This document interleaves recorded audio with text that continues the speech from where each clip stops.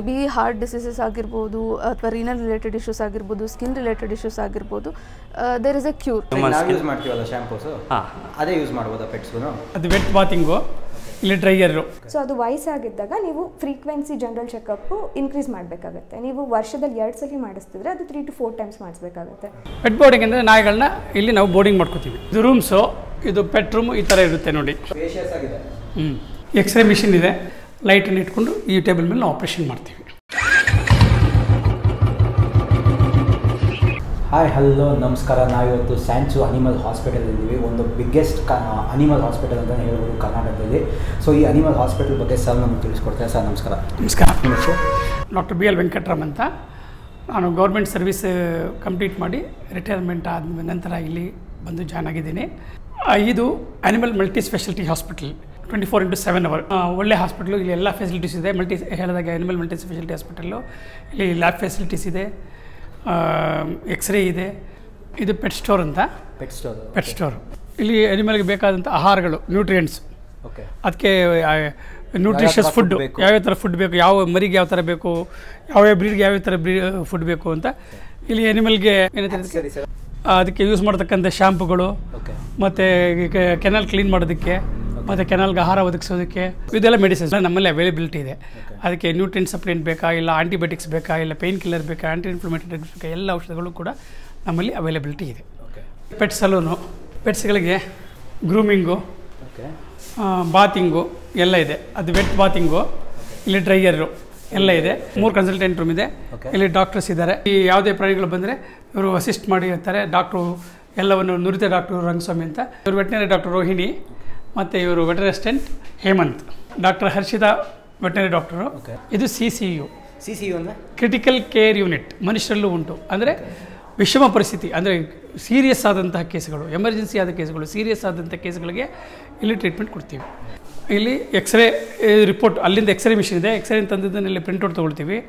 ಇದು heart rate pulse rate B P ಎಲ್ಲವನ್ನು record ಮಾಡುತ್ತೆ ನಿಮ್ಮಲ್ಲಿ ಈ ಮಿಷಿನ್ ಈ ಮಿಷಿನ್ ಓಕೆ ಉತ್ಪಲ್ ಅಂತ lab technician animal blood report ತಗೊಂಡಾಗ ಬ್ಲಡ್ ಪ್ಯಾರಾಮೀಟರ್ಸ್ ಏನೇನಿದೆ ಅದನ್ನ ನಾವು ಇಲ್ಲಿಟ್ಟು ರೆಕಾರ್ಡ್ ಮಾಡ್ತೀವಿ. ಇಲ್ಲಿ ನಾವು ರೀಡ್ ಮಾಡ್ತೀವಿ. ಓಕೆ ಇಲ್ಲಿ ಕ್ಯಾಟ್ ಬೋರ್ಡಿಂಗ್ ಕ್ಯಾಟ್ ಬೋರ್ಡಿಂಗ್ ಹಂಗಂದ್ರೆ? ಬೆಕ್ಕುಗಳಿಗೆ ವಸತಿ ಬೆಕ್ಕು ಉಳ್ಕೊಳ್ಳೋಕ್ಕೆ ಬೆಕ್ಕಗಳಿಗೆ ಬೋರ್ಡಿಂಗ್ ಇದು. ಇಲ್ಲಿ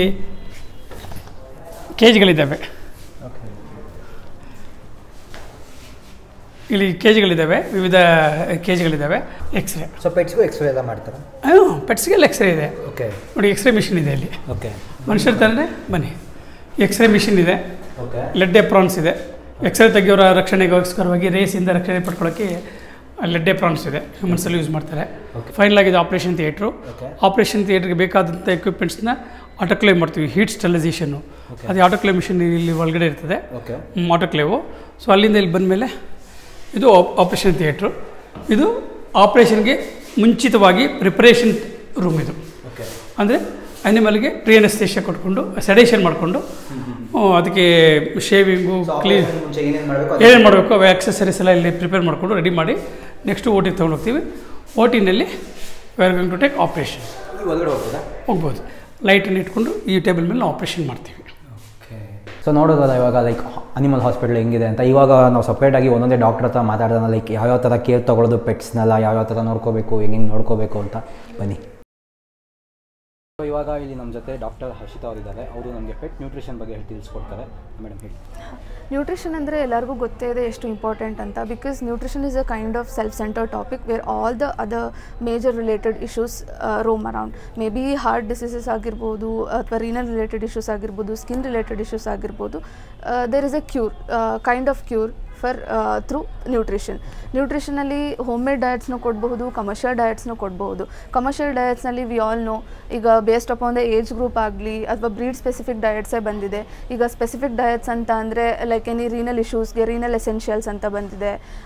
high ಹೋಗೋದಾದರೆ you have to go for like you have to look for the calorie count ಹಾಂ ಕ್ಯಾಲರಿ ಕೌಂಟ್ನ ನೋಡ್ಕೋಬೇಕಾಗತ್ತೆ ಮತ್ತು ಎಕ್ಸ್ಟ್ರಾ ಸಪ್ಲಿಮೆಂಟೇಷನ್ ಕೊಡಬೇಕಾಗತ್ತೆ ಲೈಕ್ ವಿಟಮಿನ್ಸ್ ಮತ್ತು ಮಿನರಲ್ಸ್ದು ಎಕ್ಸ್ಟ್ರಾ ಸಪ್ಲಿಮೆಂಟ್ ಲೈಕ್ ಅಂತಂದರೆ ಅದು ಡಿಪೆಂಡ್ ಆಗುತ್ತೆ. ಡಾಗ್ದು ಆ್ಯಕ್ಟಿವಿಟಿ ಆಗಿರಬಹುದು ಅಥವಾ ಪೆಟ್ದ ಆ್ಯಕ್ಟಿವಿಟಿ ಆಗಿರ್ಬೋದು ಏಜ್ ಗ್ರೂಪ್ ಆಗಿರ್ಬೋದು ಅದ್ರ ಬಾಡಿ ಗ್ರೋತ್ ಹೇಗಾಗ್ತಾ ಇದೆ ಅನ್ನೋದ್ರ ಮೇಲೆ ಕ್ಯಾಲ್ರಿ ಕೌಂಟು ಡಿಪೆಂಡ್ ಆಗುತ್ತೆ. ಓಕೆ ಈಗ ಪಪೀಸ್ಗೆ ಕಮರ್ಷಿಯಲ್ ಫುಡ್ ಕೊಟ್ಟರು ಸಹ you have to provide them with vitamins and mineral essentials ಈಗ ಒಬೆಸಿಟಿ ಮೇಜರ್ ಇಶ್ಯೂ ಆಗಿದೆ ಈಗ ಜನರಲ್ ಚೆಕಪ್ ಎಷ್ಟು ಇದಕ್ಕೆ like duration general checkup usually six months once six months six months once home made ಡಯಟ್ಸ್ಗೆ ಹೋಗೋದಾದ್ರೆ ನನ್ನ advice ಏನು ಅಂತ ಅಂದರೆ ಬ್ಲ್ಯಾಂಡ್ ಡಯಟ್ನ ಒಂದೇ ಅಂದರೆ ಒಂದೇ ಥರ ಡಯಟ್ನ ಕಂಟಿನ್ಯೂಸ್ ಆಗಿ ಕೊಡ್ತಾ ಹೋಗ್ಬಿಡಿ ಬಿಕಾಸ್ ಅದರಿಂದ ವಿಟಮಿನ್ಸ್ ಮತ್ತು ಮಿನರಲ್ ಡಿಫಿಷಿಯನ್ಸಿ ಸಹ ಆಗುತ್ತೆ. You go for changing diet change ಮಾಡ್ತಾ ಇರಿ. ಅಂದರೆ ಡಯಟ್ ಅಲ್ಲ ವೆರೈಟೀಸ್ನ ಚೇಂಜ್ ಮಾಡ್ತಾ ಇರಿ ವಿಟಮಿನ್ ಸಪ್ಲಿಮೆಂಟ್ಸ್ ಅದಕ್ಕೆ ಯಾವುದಾದ್ರು ಯಾವುದಾದ್ರು ಇದೆಯಾ? ಯಾ ನಮ್ಮ ಪೆಟ್ ಸ್ಟೋರಲ್ಲಿ ಎಲ್ಲ ತರಹದ ವೈಟಮಿನ್ ಮತ್ತು ಮಿನರಲ್ ಸಪ್ಲಿಮೆಂಟ್ಸು ಸಹ ಇದೆ. ಸಪ್ಲಿಮೆಂಟ್ಸಲ್ಲಿ ಡಿಫ್ರೆಂಟ್ ಕೈಂಡ್ಸ್ ಇದೆ. ಲೈಕ್ ಅಂತ ಅಂದರೆ growing ಪಪ್ಪೀಸ್ಗೆ calcium is must calcium and and phosphorus based upon the needs it has different categories ಎಲ್ಲ supplements it's available thank you doctor welcome ಇವಾಗ ನಮ್ಮ ಜೊತೆಯಲ್ಲಿ ಡಾಕ್ಟರ್ ರಂಗಸ್ವಾಮಿ ಅವರಿದ್ದಾರೆ. ಹಾಯ್ ಸರ್ ಹಾಯ್ ಸರ್ ಇವತ್ತು ನಮಗೆ ಪೆಟ್ ಹೈಜೀನ್ ಬಗ್ಗೆ ತಿಳಿಸ್ಕೊಡ್ತಾರೆ. ಸರ್ ತಿಳಿಸ್ಕೊಡಿ. ಸೊ ಪೆಟ್ ಹೈಜಿನ್ ಅಂತಂದರೆ pet hygiene is very important for maintaining of the pet health pet hygiene ಬಂದು bathing grooming and regular cleaning of the ears and clipping of the nails ಮತ್ತು skin coat maintenance okay sir ಇದು ಎಷ್ಟು ದಿನಕ್ಕೆ ಒಂದ್ಸಲಿ ಪೆಟ್ನ like ಸ್ನಾನ ಮಾಡಿಸೋದು ಆ ಥರ ಹಾಂ ಬಾತಿಂಗ್ ಬಗ್ಗೆ ಹೇಳ್ಬೇಕಂದ್ರೆ pets up to three months ನಾವು ಪೆಟ್ಸಿಗೆ ಬಾತಿಂಗ್ ರೆಕಮೆಂಡ್ ಮಾಡಲ್ಲ. ತ್ರೀ ಮಂತ್ಸ್ವರೆಗೂ ನೀವು ಲೀಕ್ ಮೋಟ್ರಲ್ಲಿ ವೈಪ್ ಮಾಡ್ಬೋದು ಇಲ್ಲ ವೆಟ್ ವೈಪ್ಸ್ ಬರುತ್ತೆ ಇಲ್ಲ ಡ್ರೈ ಶಾಂಪೂಸ್ ಬರುತ್ತೆ ಅದು ಯೂಸ್ ಮಾಡ್ಬೋದು. ಯೂಸ್ ಮಾಡ್ತೀವಲ್ಲ ಶಾಂಪೂಸು ಹಾಂ. ಅದೇ ಯೂಸ್ ಮಾಡ್ಬೋದಾ ಪೆಟ್ಸ್ಗೂ ಇಲ್ಲ ಮಸ್ಟ್ ಆ್ಯಂಡ್ ಶುಡ್ ಯೂಸ್ ಮಾಡಬಾರ್ದು ಅವಾಯ್ಡ್ ಮಾಡಬೇಕು. ಮತ್ತೆ ಇದು ಕಿವಿ ಕ್ಲೀನಿಂಗು ಮತ್ತೆ ನೇಲ್ ಕಟಿಂಗ್ ಎಲ್ಲ ಇರುತ್ತಲ್ಲ? ಓಕೆ ಅದನ್ನೆಲ್ಲ ಎಷ್ಟು ಡ್ಯೂರೇಷನ್ ಮಾಡಿಸ್ಬೇಕು. ಎಷ್ಟು ತಿಂಗಳು. ಇಲ್ಲ ಒಂದು ಹದಿನೈದು ದಿನಕ್ಕೆ ಒಂದ್ಸಲಿ ಆ ಥರ ಏನಾದರೂ ಇದೆಯಾ? ಇಯರ್ ಕ್ಲೀನಿಂಗ್ ಬಂದು ವೀಕ್ಲಿ ಒನ್ಸ್ ಮಾಡಿಸ್ಬೋದು. ಇಲ್ಲ ವೀಕ್ಲಿ ಟೂ ವೀಕ್ಸ್ ಒನ್ಸ್ ನೀವು ರೆಗ್ಯುಲರಾಗಿ ಮಾಡಬೇಕಾಗುತ್ತೆ. ಕ್ಲೀನ್ಸಿಂಗ್ ಲಿಕ್ವಿಡ್ಸ್ ಎಲ್ಲ ಸಿಗುತ್ತೆ ಕ್ಲೀನ್ ಮಾಡೋದಕ್ಕೆ. ಕಿವಿದು. ಆಮೇಲೆ ನಿಮಗೆ ನೈಲ್ ಕಟಿಂಗ್ ಎಲ್ಲ ಬಂದು ಮಂತ್ಲಿ ಒನ್ಸ್ ನಿಮಗೆ ಅದು ನೈಲ್ ಗ್ರೋ ಆಗಿರೋದು ಗೊತ್ತಾಗುತ್ತೆ. ಅದರಿಂದ ನೀವು ಮಂತ್ಲಿ ಒನ್ಸ್ ನೈಲ್ ಕ್ಲಿಪ್ಪಿಂಗ್ ಎಲ್ಲ ಮಾಡಿಸ್ಬೋದು. ಓಕೆ ಸರ್ ಇದು ಸ್ಕಿನ್ ಕೇರ್ ರೂಟಿನ್ ಎಲ್ಲ ಯಾವ ಥರ like skin care routine means ತುಂಬ ಶಾರ್ಟ್ ಅದು ಡಿಪೆಂಡ್ಸ್ ಲಾಂಗ್ ಏರ್ ಬ್ರೀಡ್ಸ್ ಅಂತ ಇರುತ್ತೆ ಶಾರ್ಟ್ ಏರ್ ಬ್ರೀಡ್ಸ್ ಅಂತ ಇರುತ್ತೆ. ಲಾಂಗ್ ಏರ್ ಬ್ರೀಡ್ಸಲ್ಲಿ ನೀವು ರೆಗ್ಯುಲರಾಗಿ ಡೈಲಿ ಟೂ ಟೈಮ್ಸ್ ಗ್ರೂಮಿಂಗ್ ಎಲ್ಲ ಇರಬೇಕು ಅದಕ್ಕೆ. ಸರ್ ಇವಾಗ ನಮಗೆಲ್ಲ ಸ್ಕಿನ್ ಪ್ರಾಬ್ಲಮ್ಸ್ ಎಲ್ಲ ಬರುತ್ತಲ್ಲ ಆ ಥರ ಪೆಟ್ಸ್ಗೂ ಯಾವುದು ಬರುತ್ತಾ ಆ ಥರ? ಹಾಂ ಎಸ್ ಆಬ್ವಿಯಸ್ಲಿ ಪೆಟ್ಸಲ್ಲಿ ಬಂದು ಫಸ್ಟು ಎಕ್ಟೋಪ್ಯಾರಾಸೈಟ್ಸ್ ಅಂತಂದು. ಅದು ಸ್ಕಿನ್ ಮೇಲೆ ಇರುತ್ತೆ. Means ticks fleas and mites ಅಂತ ಹೇಳ್ತೀವಿ. ಎನಿ ನೀವು ಪೆಟ್ ಮೇಲೆ ಯಾವುದಾದ್ರು ಆರ್ಗನಿಸಮ್ಸ್ ನೋಟಿಸ್ ಮಾಡಿದರೆ as as soon as immediate ನೀವು ವೆಟ್ ವೆಟ್ನರಿನ ಕನ್ಸಲ್ಟ್ ಮಾಡಬೇಕು. ಅದಕ್ಕೆ ಅವು ತುಂಬ ಎಕ್ಸ್ಟರ್ನಲ್ ಪ್ಯಾರಾಸೈಟ್ಸ್ ಅಂತ ಹೇಳ್ತೀವಿ. ಅದು ತುಂಬ ಹಾರ್ಮ್ಫುಲ್ ಪೆಟ್ಟಿಗೆ ಪೆಟ್ಟಿಗೆ ನಿಮಗೆ ವೆಟ್ಸ್ ಅದ ಬೇಸಿಸ್ ಮೇಲೆ ನಿಮಗೆ ಶಾಂಪೂಸ್ ಎಲ್ಲ ರೆಕಮೆಂಡ್ ಮಾಡ್ತಾರೆ ಅದಕ್ಕೆ ಮತ್ತು ಟ್ರೀಟ್ಮೆಂಟ್ ರೆಕಮೆಂಡ್ ಮಾಡ್ತಾರೆ ನೀವು ತುಂಬ ಡಿಫ್ರೆಂಟ್ ಶಾಂಪೂಸ್ ಇದೆ. ನೋಡಿ ಇಲ್ಲೇ ಎಷ್ಟೊಂದು ಡಿಫ್ರೆಂಟ್ ಶಾಂಪೂಸ್ ಇದೆ. ನೀವು ಯಾವುದೋ ಯಾವುದೋ ಅಡ್ವೈಸ್ ಕೇಳಿಬಿಟ್ಟು ಯಾವುದೋ ಶಾಂಪೂ ಸೆಲೆಕ್ಟ್ ಮಾಡೋದಲ್ವಾ? ಯು ಶುಡ್ ಕನ್ಸಲ್ಟ್ ಮಾಡಿ. ಡಾಕ್ಟ್ರನ್ನ ಕನ್ಸಲ್ಟ್ ಮಾಡಿಬಿಟ್ಟು ನೀವು ಶಾಂಪೂ ಸೆಲೆಕ್ಟ್ ಮಾಡಿ ಯೂಸ್ ಯೂಸ್ ಮಾಡಬೇಕಾಗುತ್ತೆ. Thank you doctor thank you so much ನಮ್ಮ ಜೊತೆ ಇಲ್ಲಿ ಡಾಕ್ಟರ್ ರೋಹಿಣಿ ಅವರಿದ್ದಾರೆ. ಅವರು ಪೆಟ್ ಜನರಲ್ ಚೆಕಪ್ ಬಗ್ಗೆ ತಿಳಿಸ್ಕೊಡ್ತಾರೆ. ಸೊ ಇವಾಗ ಹ್ಯೂಮನ್ಸಲ್ಲಿ ಒಂದು ಮಗು ಹುಟ್ಟಿದೆ ಅಂತ ಅಂದಾಗ ನಾವು ಹೆಂಗೆ ರೆಗ್ಯುಲರ್ ಚೆಕಪ್ಸ್ಗೆ ಕರ್ಕೊಂಡು ಹೋಗ್ತೀವಿ? ಅದೇ ಥರ ನೀವು ಮನೆಗೆ ಒಂದು ಪಪ್ಪಿ ತಂದಾಗ ಅದೇ ರೆಗ್ಯುಲರ್ ಆಗಿ ಚೆಕಪ್ ಮಾಡಿಸ್ಬೇಕಾಗುತ್ತೆ. ಸೊ ಮನೆಗೆ ಪಪ್ಪಿ ತಂದಿದ ತಕ್ಷಣ ಡಾಕ್ಟ್ರ್ ಹತ್ರ ಕರ್ಕೊಂಬಂದು ಕಂಪ್ಲೀಟ್ ಚೆಕಪ್ ಮಾಡಿಸ್ಬೇಕಾಗುತ್ತೆ. ಐಸು ಇಯರ್ಸು ಸ್ಕಿನ್ನು ಮತ್ತು ಬಾಡಿ ಕಂಡೀಷನ್ ಹೇಗಿದೆ? ಆ ಥರ ಎಲ್ಲ ಚೆಕಪ್ ಮಾಡಿಸಿ ಅದನ್ನು ಹೆಂಗೆ ನೋಡ್ಕೋಬೇಕು ಅನ್ನೋದನ್ನು ಡಾಕ್ಟರು ನಿಮಗೆ ಮೇಂಟೆನೆನ್ಸ್ ಬಗ್ಗೆ ಅಡ್ವೈಸ್ ಕೊಡ್ತಾರೆ. ಸೊ ಅದರಲ್ಲಿ ಡಿವಾರ್ಮಿಂಗು ವ್ಯಾಕ್ಸಿನೇಷನ್ನು ಎಲ್ಲ ಇನ್ಕ್ಲೂಡ್ ಆಗುತ್ತೆ. ಸೊ ನಿಮಗೆಲ್ಲ ಶೆಡ್ಯೂಲ್ಸ್ ಗೊತ್ತಿರಲ್ಲ ಅಲ್ವಾ ಸೊ ಯಾವಾಗ ಯಾವಾಗ ಡಿವಾರ್ಮಿಂಗ್ ಮಾಡಬೇಕು ಯಾವಾಗ ಯಾವಾಗ ವ್ಯಾಕ್ಸಿನೇಷನ್ ಮಾಡಬೇಕು ಸೊ ಇವಾಗ ಅದು ಡಿಪೆಂಡ್ ಆಗುತ್ತೆ. ನೀವು ಇವಾಗ ಒಬ್ಬರಿಂದ ತರ್ಟಿ ಡೇಸ್ ಪಪ್ಪಿ ತೊಗೊಂಡಿದ್ದೀರಾ ಅಂತ ಅಂದರೆ ತರ್ಟಿ ಫೈವ್ ಡೇಸ್ಗೆ ಒಂದು ವ್ಯಾಕ್ಸಿನ್ ಬರುತ್ತೆ ಪಪ್ಪಿ ಡಿ ಪಿ ಅಂತ. ಅದನ್ನು ಮಾಡಿಸ್ಬೋದು. ಇಲ್ಲ ನೀವು ಸ್ವಲ್ಪ ತರ್ಟಿ ಫೈವ್ ಡೇಸ್ ಕ್ರಾಸ್ ಆಗಿದೆ ಅಂತಂದರೆ ಒನ್ ಆ್ಯಂಡ್ ಹಾಫ್ ಮಂತ್ ಆದಮೇಲೆ ನಾವು ವ್ಯಾಕ್ಸಿನೇಷನ್ ಶೆಡ್ಯೂಲ್ನ ಸ್ಟಾರ್ಟ್ ಮಾಡ್ಕೋತೀವಿ. ಮಲ್ಟಿ ಕಂಪನೆಂಟ್ ವ್ಯಾಕ್ಸಿನು ಅದು like five to six diseases ಬಗ್ಗೆ ಫೈಟ್ ಮಾಡುತ್ತೆ. ಯೂಶಲಿ ಇವಾಗ ಪಾರ್ವು ವೈರಸ್ ಎಲ್ಲ ತುಂಬ ಕಾಮನ್ ಆಗಿದೆ ಅಲ್ಲ ಡಾಗ್ಸ್ಗೆ ಸೊ ವ್ಯಾಕ್ಸಿನ್ ಹಾಕ್ಸೋದ್ ಹಾಕ್ಸೋದ್ರಿಂದ ಪ್ರಿವೆಂಟಿಂಗ್ ಮೆಷರ್ ಥರ ಆಗುತ್ತೆ. ಅದು ಬಿಟ್ಟರೆ ನೆಕ್ಸ್ಟ್ ರೇಬೀಸ್ ವ್ಯಾಕ್ಸಿನೇಷನ್ ಹಾಕಿಸ್ಬೇಕಾಗುತ್ತೆ. ಸೊ ಅದಾದಮೇಲೆ ಇದು ರೆಗ್ಯುಲರ್ ಆಗಿ ಬಟ್ ಇವಾಗ ಹೆವಿ ಬ್ರೀಡ್ಸ್ ಇರುತ್ತಲ್ಲ like thirty forty K G like German shepherd golden retriever ಆ ಥರ ಬ್ರೀಡ್ಸ್ ಎಲ್ಲ ಇದ್ದಾಗ ಅದು ಫೋರ್ ಫೈವ್ ಇಯರ್ಸ್ ಆದಮೇಲೆ ನಾವು ಅದಕ್ಕೆ ವಯಸ್ಸಾಗಿದೆ ಅನ್ನೋ ಥರ ಕನ್ಸಿಡರ್ ಮಾಡ್ತೀವಿ.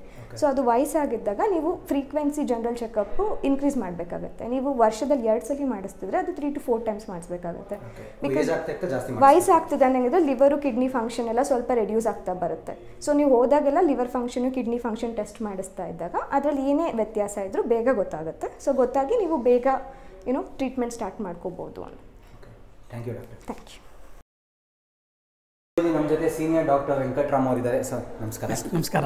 ಸೊ ಇವಾಗ ಡಾಕ್ಟರ್ ನಮಗೆ ಝೋನಾಟಿಕ್ ಡಿಸೀಸಸ್ ಬಗ್ಗೆ ತಿಳಿಸ್ಕೊಡ್ತಾರೆ. ಸರ್ ಏನಂದ್ರೆ ಹಾಂ ಝುನೋಡಿಕ್ ಡಿಸೀಸ್ ಅಂದರೆ ಪ್ರಾಣಿಗಳಿಂದ ಮನುಷ್ಯರಿಗೆ ಮನುಷ್ಯರಿಂದ ಪ್ರಾಣಿಗಳಿಗೆ ಬರತಕ್ಕಂಥ ಕಾಯಿಲೆಗಳನ್ನು ಝೋನಾಟಿಕ್ ಡಿಸೀಸ್ ಅಂತಾರೆ. ಓಕೆ ಡಾಕ್ಟರ್ ಈಗ ಪೆಟ್ಸಲ್ಲಿ ಮೇಜರ್ ಆಗಿ ಬರುವಂಥ ಕಾಯಿಲೆಗಳು ಯಾವ ಥರ ಪೆಟ್ಸಲ್ಲಿ ಆಗಿ ಬರ್ತಕ್ಕಂಥ ಝುನೋಟಿಕ್ ಕಾಯಿಲೆಗಳು ಅಂದರೆ ಝುನೋಟಿಕ್ ಡಿಸ್ ಅಂದರೆ ರೈಬಿಸ್ ಲೆಪ್ಟೋಸ್ಪೈರೋಸಿಸ್ ಹೆಪಟೈಟಿಸು ಮತ್ತು ಡರ್ಮಟೈಟಿಸ್ ಅಂದರೆ ಚರ್ಮ ರೋಗಗಳು ಇವೆಲ್ಲ ಬರ್ತಕ್ಕಂಥ ಕಾಯಿಲೆಗಳು ಸಾಧಾರಣವಾಗಿ. ರೇಬಿಸು ಅತ್ಯಂತ ಭಯಾನಕ ಕಾಯಿಲೆ.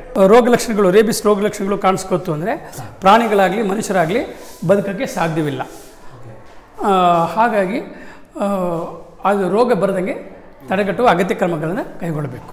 ಓಕೆ ಅದನ್ನ ಯಾವ್ಯಾವ ಥರ ಪ್ರಿವೆಂಟ್ ಮಾಡೋದು? ಲಸಿಕೆಯನ್ನು ಹಾಕ್ಸ್ಬೇಕು. ಈಗ ನಾಯಿಗೆ ಆಂಟಿ ರೇಬಿಸ್ ಲಸಿಕೆಗಳಿದ್ದಾವೆ ಅದನ್ನು ನಾಯಿಗಳಿಗೆ ಲಸಿಕೆ ಹಾಕ್ಸೋದ್ರಿಂದ ನಾಯಿಗೆ ರೇಬಿಸ್ ಬರೋದಂಗೆ ತಡೆಗಟ್ಟಬೋದು ಅದೇ ರೀತಿ ಈಗ ಲೆಪ್ರಸ್ಪರೋಸಿಸು ಹೆಪಟೈಟಿಸ್ ಅಂತ ಹೇಳಿದೆ. ಅದು ಕೂಡ ಪ್ರಾಣಿಗಳಿಂದ ಮನುಷ್ಯರಿಗೆ ಬರ್ತಕ್ಕಂಥ ಕಾಯಿಲೆ. ಅದಲ್ಲದೆ ಅದ್ರ ಜೊತೆಗೆ ಬರೀ ನಾಯಿಗಳಿಗೆ ಬರ್ತಕ್ಕಂತಹ ಡಿಸ್ಟಂಪರು ಪಾರೋ ವೈರಸ್ಸು ಮತ್ತು ಕರೋನಾ ವೈರಸ್ ಕೂಡ ಇದೆ. ಇಶ್ ಅದಕ್ಕೆ ಕರೋನಾ ವೈರಸ್ ಕೂಡ ನಾಯಿಗೆ ಬರ್ತದೆ ಡಯೇರಿಯಾ ಸಿಂಪ್ಟಮ್ಸ್ ಅದಕ್ಕೆ. ಪರ್ವ ಮತ್ತು ಕರೋನಾ ಡಯೇರಿಯನ್ನು ಉಂಟು ಮಾಡ್ತದೆ ಅದರಲ್ಲಿ. ಇವಕ್ಕೆಲ್ಲಕ್ಕೂ ಒಂದು ಕಂಬೈಂಡ್ ಲಸಿಕೆಗಳಿದ್ದಾವೆ. ಆ ಕಂಬೈಂಡ್ ಲಸಿಕೆಯನ್ನು ಹಾಕಿಸ್ಬೇಕು.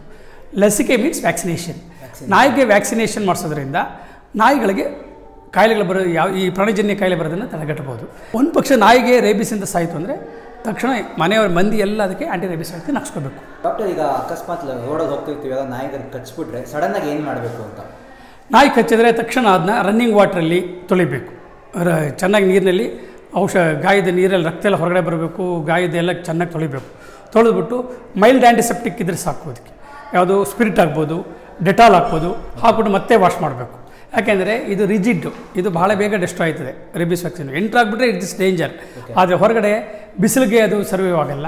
ಮತ್ತು ಮೈಲ್ಡ್ ಆ್ಯಂಟಿಸೆಪ್ಟಿಕ್ ಕ್ರೀಮ್ಗೂ ಕೂಡ ಅದು ಡಿಸ್ಟ್ರಾಯ್ ಆಗ್ತವೆ. ತೊಳೆದು ಗಾಯನ ತೊಳೆದ ಮೇಲೆ ಸ್ಪಿರಿಟು ಡೆಟಾಲು ಅಷ್ಟೆಲ್ಲ ಹಾಕಿದ ಮೇಲೆ ಕೂಡ ಲಸಿಕೆಗಳನ್ನು ಹಾಕಿಸ್ಬೇಕು. ಡಾಕ್ಟರ್ ಹತ್ರಕ್ಕೆ ಹೋಗ್ಬಿಟ್ಟು ವ್ಯಾಕ್ಸಿನೇಷನ್ ಪ್ರಿವೆಂಟಿವ್ ವ್ಯಾಕ್ಸಿನೇಷನ್ ತೊಗೋಬೇಕು. ಅಷ್ಟೇ. Thank you doctor thank you thank you so ಇಷ್ಟೊತ್ತು ನೋಡೋದ ಲೈಕ್ ಅವಾಗಿಂದ ಡಾಕ್ಟರ್ಸ್ ಹತ್ರ ಮಾತಾಡಿದ್ವಿ ಲೈಕ್ ಪೆಟ್ಸ್ನ ಯಾವ ಥರ ಎಲ್ಲ ನೋಡ್ಕೋಬೇಕು ಹೆಂಗೆ ನೋಡ್ಕೋಬೇಕು ಅಂತ. ಥರ್ಡ್ ಫ್ಲೋರಲ್ಲಿ ಪೆಟ್ ಬೋರ್ಡಿಂಗ್ ಅಂತಿದೆ. ಸರ್ ಪೆಟ್ ಬೋರ್ಡಿಂಗ್ ಅಂದ್ರೆ ಏನು? ಪೆಟ್ ಬೋರ್ಡಿಂಗ್ ಅಂದರೆ ನಾಯಿಗಳನ್ನ ಇಲ್ಲಿ ನಾವು ಬೋರ್ಡಿಂಗ್ ಮಾಡ್ಕೋತೀವಿ.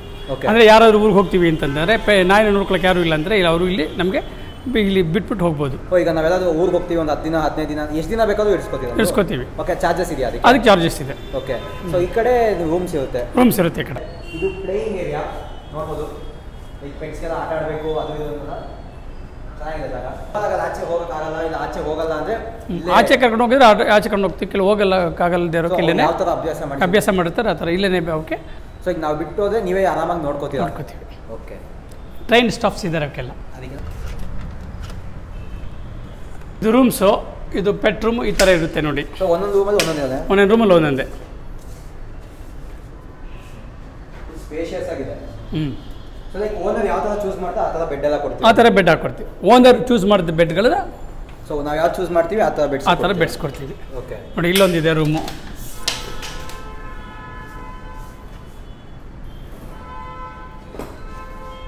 ಟೋಟಲ್ ಆಗಿ ಎಷ್ಟು ರೂಮ್ಸ್ ಇದೆ ಇಲ್ಲಿ? ಈಗ ಟೆನ್ ರೂಮ್ಸ್ ಇದೆ. ಟೆನ್ ರೂಮ್ಸ್ ಇದೆಯಾ? ಓಕೆ ಸೊ ನೋಡೋದಲ್ಲ ಇವಾಗ ಪೆಟ್ ಬೋರ್ಡಿಂಗು ಮತ್ತು ಪೆಟ್ಸ್ನೆಲ್ಲ ನೋಡ್ಕೊಳ್ಳೋದು ಯಾವ ಥರ ಏನು ಎತ್ತ ಆಮೇಲೆ ಸಂಚು ಅನಿಮಲ್ ಹಾಸ್ಪಿಟಲ್ ಹೆಂಗಿದೆ ಅಂತ. ಸೊ ನಿಮಗೆ ಅದು ವೀಡಿಯೋ ಇಷ್ಟ ಆಗಿದೆ ಲೈಕ್ ಮಾಡಿ. ಇವ್ರ ಬಗ್ಗೆ ಇನ್ಫಾರ್ಮೇಷನ್ ಏನೇ ಬೇಕು ಡಿಸ್ಕ್ರಿಪ್ಷನಲ್ಲಿ ನಂಬರ್ ಹಾಕಿರ್ತೀನಿ ಮತ್ತು ಸ್ಕ್ರೀನ್ ಮೇಲೂ ನಂಬರ್ ಹಾಕಿರ್ತೀನಿ ಅವ್ರ ಇನ್ಸ್ಟಾಗ್ರಾಮ್ ಪೇಜು ಹಾಕಿರ್ತೀನಿ. ಟ್ವೆಂಟಿ ಫೋರ್ ಇಂಟು ಸೆವೆನ್ ಇರುತ್ತೆ ನಿಮ್ಮ ಪೆಟ್ಸ್ಗೆ ಎಮರ್ಜೆನ್ಸಿ ಏನೇ ಇದೂ ಕರ್ಕೊಬನ್ನಿ ಇಲ್ಲ ಪೆಟ್ ನೋಡ್ಕೋಬೇಕು ಅಂದರೆ ಏನೇ ಇತ್ತು ಅಂದ್ರೂ ಎಲ್ಲದಕ್ಕೂ ಒನ್ ಸ್ಟಾಪ್ ಸೊಲ್ಯೂಷನ್ ಅಂತಲೇ ಹೇಳ್ಬೋದು. ತುಂಬಾ ಸಕ್ಕತ್ತಾಗಿದೆ. ವೀಡಿಯೋ ಹೆಂಗನ್ಸ್ತು ಅನಿಸ್ತು ಅಂತ ಕಮೆಂಟ್ ಮಾಡಿ. ಆದಷ್ಟು ಶೇರ್ ಮಾಡಿ ಪೆಟ್ ಲವರ್ಸ್ ಎಲ್ಲರಿಗೂ ಸೊ ನಿಮ್ಮ ಹತ್ರ ಯಾವ ಪೆಟ್ ಇದೆ, ಹೆಂಗೆ ನೋಡ್ಕೋತೀರಾ ಅದನ್ನು ಕಮೆಂಟ್ ಮಾಡಿ ಅಂತ ಹೇಳ್ತಾ ಇವತ್ತಿನ ಈ ವಿಡಿಯೋನ ಇಲ್ಲಿಗೆ ಎಂಡ್ ಮಾಡ್ತಾ ಇದ್ದೀನಿ. ಬಾಯ್